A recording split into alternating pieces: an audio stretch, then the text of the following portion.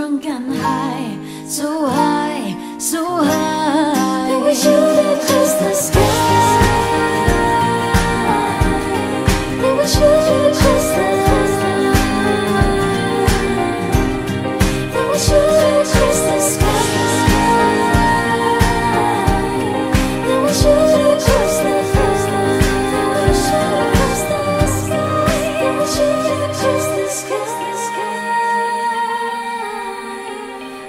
shoot across the.